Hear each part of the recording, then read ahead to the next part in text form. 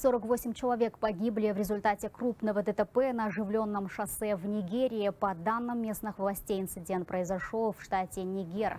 Бензовоз столкнулся с грузовиком, перевозившим аграриев и крупный рогатый скот, после чего произошел взрыв и начался сильный пожар.